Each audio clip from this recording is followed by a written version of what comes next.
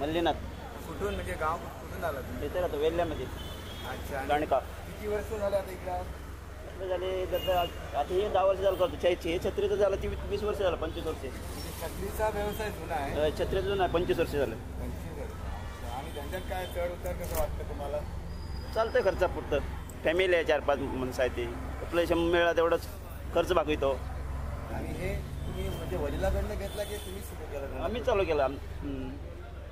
नव्हते हो. आमचा भाव होता तर त्याचं करायला लागलो. दहा वर्ष पोस्टर आहे कॅलेंडरच आहे म्हणजे छत्रीचा धंदा आमचा पंचवीस वर्ष झाला. पावसात. मग ते आईस्क्रीम विकतो आम्ही मग.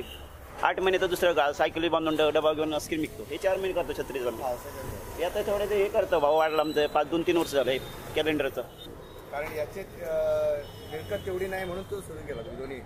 नाही आहे धंदा. बस म्हणाला माल बस चालू केला.